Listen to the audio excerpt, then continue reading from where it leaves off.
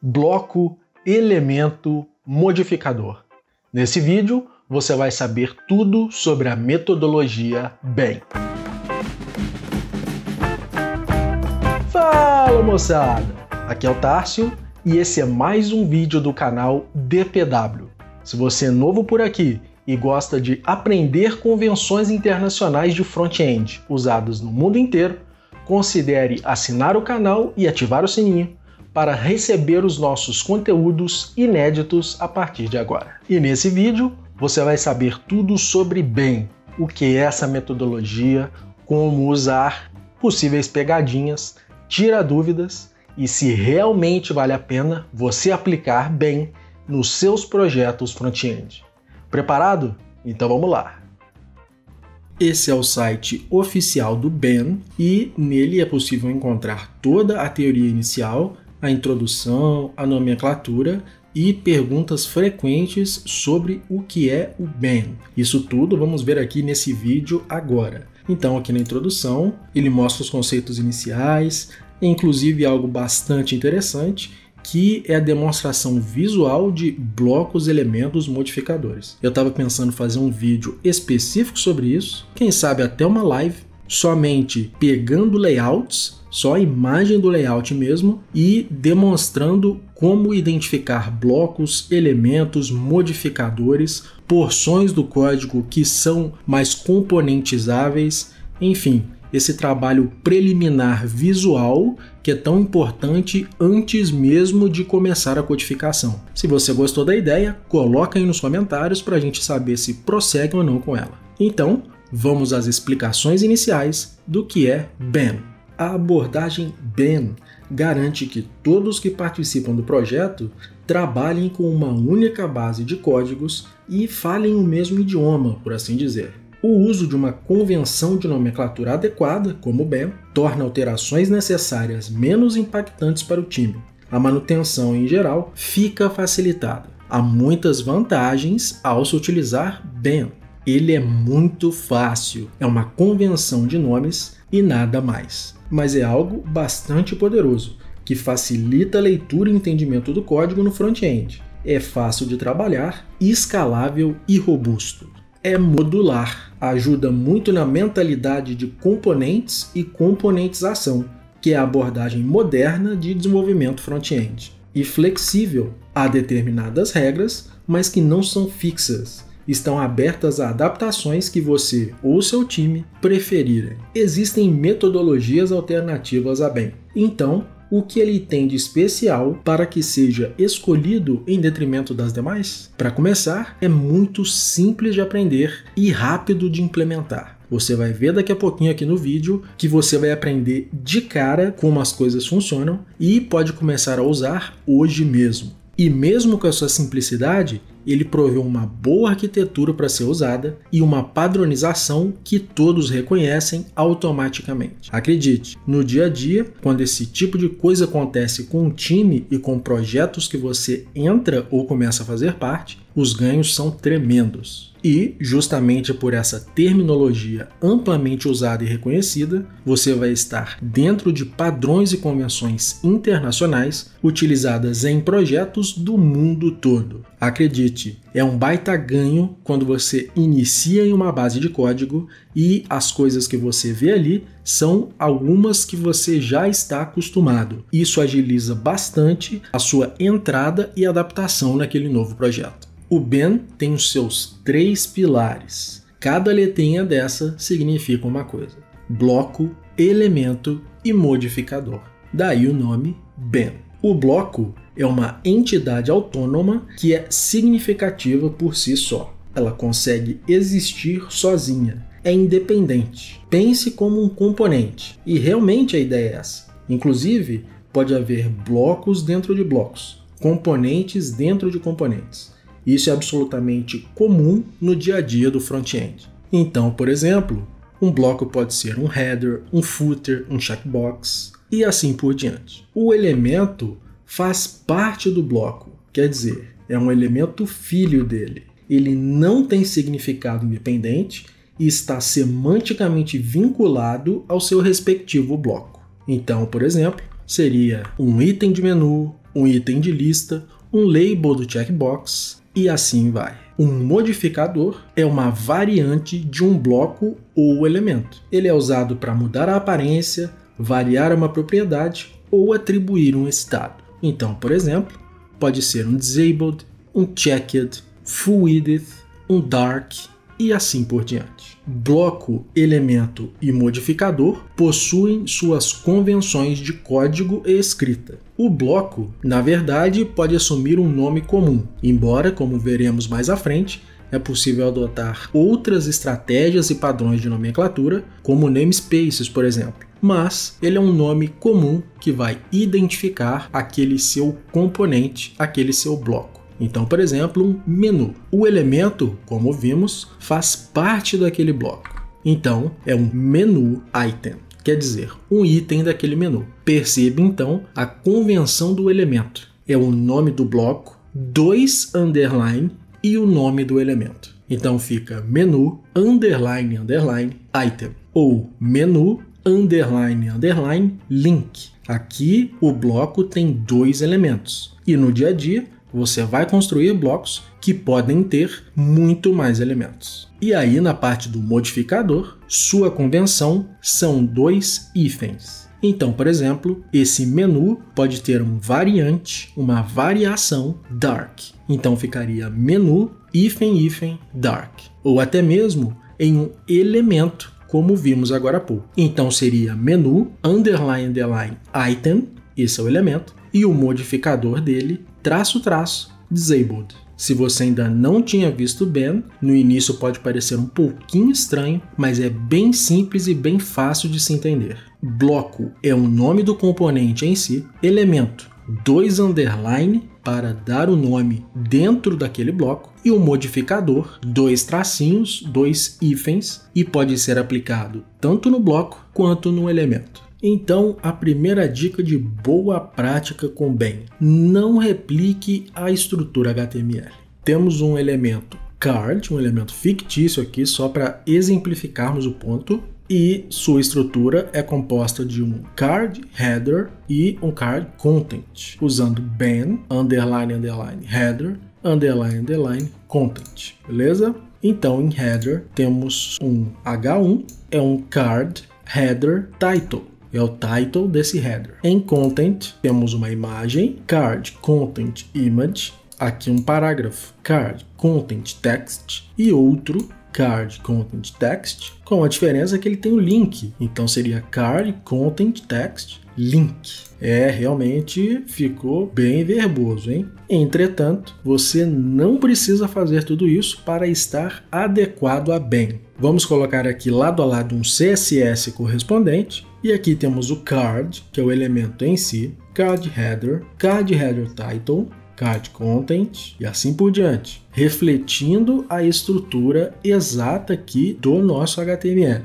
Mas a nossa dica é que não é necessário que isso aconteça. No caso, card header title, isso é desnecessário. Mesmo que não se use o header, ficaria somente card title Ainda assim, é claríssimo que title é um elemento de card e ele está inequivocamente identificável dentro dessa estrutura. Vamos refletir essa mudança aqui no HTML também. Card content, tudo bem. E aí, card content image não seria necessário, somente card image está aqui identificada inequivocamente e pelo underline underline fica claro que é um elemento de card. A mesma coisa com o text, aqui também podemos tirar.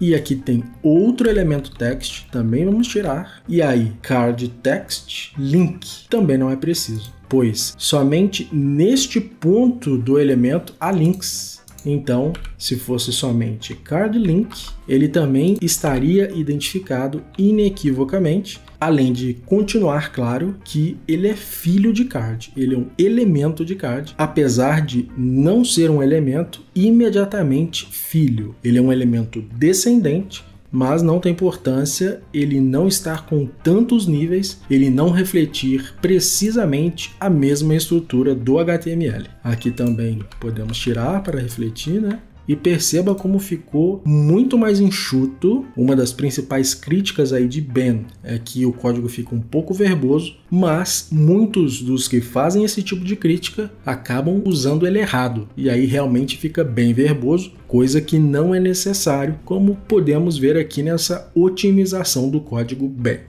Uma outra questão, uma outra dica que é importante é a respeito de usar bloco dentro de bloco, elemento dentro de elemento. Aqui, por exemplo, poderia haver um outro bloco, por exemplo, um botão e isso é absolutamente normal e aceitável. É o que acontece no dia a dia quando programamos aí, quando codificamos no front-end. É absolutamente normal. E aí, dentro de Ben, esse botão poderia ter um modificador, por exemplo, botão maior ou coisa assim. Entretanto, pode surgir o caso em que o modificador não é tão adequado assim. Por exemplo, esse botão com o modificador large, ele só vai ser usado aqui ou ele tem a possibilidade de ser usado em outro ponto do site. Se for somente aqui, de repente vale a pena ao invés de começar com um modificador no próprio botão, sobrescrever as regras dele dentro do próprio card text e aí aqui dentro a gente coloca o BTN e coloca as regras necessárias para ele ficar ligeiramente diferente. Esses overreads vão somente dentro de card text surtirem efeito e todos os que não tiverem aqui dentro vão ficar exatamente como o comportamento, a aparência normal de BTN. Se você sentir, se você vê que há necessidade de um modificador large, como no exemplo aqui, atuar e estar presente em outros pontos do site, aí sim você modifica o próprio componente BTN e cria esse modificador. Do contrário, essa daqui pode ser uma solução. Uma terceira dica é a respeito de como nomear estados ou situações temporárias que podem acontecer com componentes ou blocos no seu código. Então, por exemplo, esse botão poderia ter um modificador BTM disabled. E aí haveria no próprio estilo do BTN uma coisa específica para lidar com o estado desabilitado. Isso segue estritamente ao que diz bem a respeito de modificadores. Entretanto, como vimos lá no início, essa metodologia tem a sua flexibilidade e nada impede, por exemplo, de você, ao invés de usar um modificador, colocar um isDisabled. Aqui já entramos em uma outra seara, entramos em namespaces CSS, podemos até abordar em um outro vídeo, mas nada impede que se faça dessa maneira ao invés de um modificador propriamente dito. Usando o modificador, fica mais fiel e mais condizente ao que apregoa bem nas suas regras, nas suas instruções de base. Entretanto, nada impede também de usarmos aqui um prefixo is, no caso de isDisabled, para representar um estado, e aí dentro do componente, dentro do bloco btn, estilizar conforme necessário. E aí, só para a gente brincar um pouquinho, vamos fazer aqui efetivamente funcionar um bloco com elemento e modificador para a gente ver como é na prática o uso do bem. Então já estou com o BFB aberto de um lado no VS Code e do outro o próprio browser e vamos fazer um exemplo rapidamente de uma implementação do mundo real de bloco, elemento e modificador dentro da proposta de Ben. Um exemplo clássico seria uma lista. Então vamos começar com CList. Esse C tracinho também é um namespace CSS para componente, mas não necessariamente o seu nome precisa ter isso. Há vantagens em se usar essa abordagem, mas fica aí ao seu critério. Na verdade, é um UL, né? O L CList. Aqui dentro haverá itens de lista. Então, LI e aí CList Dentro da metodologia BEN, temos aqui um bloco, agora um elemento, dois underline e o nome que você quiser. No caso, eu acho que seria apropriado item. E aí, dentro desse item, teríamos um link, por exemplo, clist, e aí link fica bem apropriado também. Então, na prática, esse seria um bloco e dois elementos. Vamos colocar mais algum aqui popular com alguma informação, só para a coisa ficar mais visível.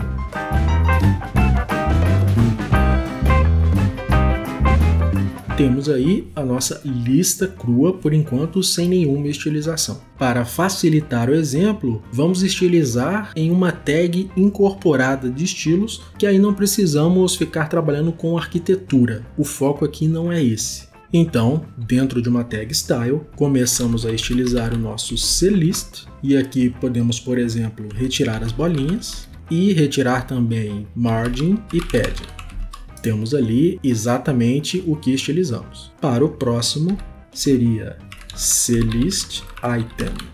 E aí, para ter alguma coisa aqui, vamos colocar um margin.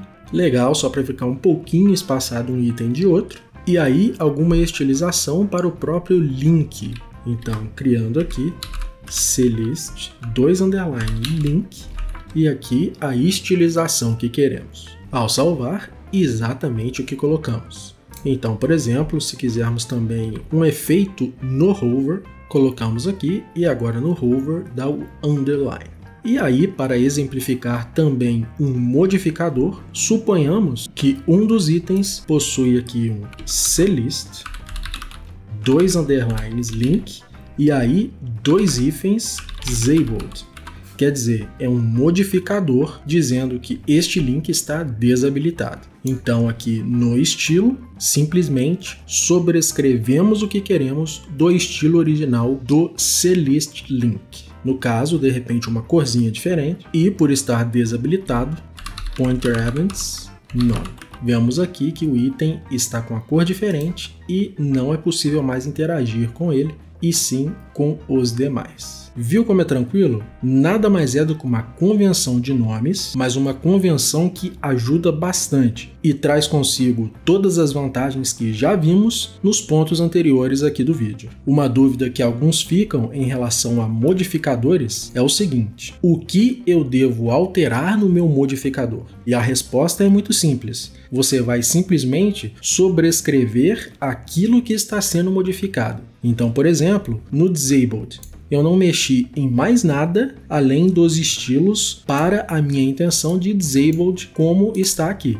E a estilização ficou conforme a intenção do estilo disabled. Vamos supor que você tenha um componente que ele muda de cor, por exemplo. Então é um componente qualquer e tem um modificador green ou um modificador purple. Enfim, ele vai mudar a cor de alguma forma. A única coisa que você vai alterar nesse modificador é aquela propriedade que mexe com a cor. Você não precisa de repetir tudo que consta no estilo original, mas somente estilizar o que vai ficar diferente. Alguns não gostam de bem, alegando que o código fica muito verboso e comprido, muitas classes a serem usadas ali, e isso acaba dificultando um pouco a leitura do código. Em partes, isso é verdade. Realmente, usa-se um pouco mais de classes dentro da metodologia BEM para alcançar aqueles resultados pretendidos. Entretanto, pessoalmente, eu vejo como muito vantajoso a aplicação da metodologia BEM devido a todas as vantagens que ela traz e que foram vistas aí no vídeo. Inclusive, uma dessas vantagens é que a partir de agora, já que você conhece bem, vai conseguir acompanhar os nossos vídeos aqui do canal bem melhor. E para testar se você realmente aprendeu e ver na prática muitos conteúdos de front-end, recomendamos que assista ao nosso vídeo de duas horas sobre front-end, em que fazemos muitos layouts aplicando bem. Então, muito obrigado e a gente se vê pela web. Valeu!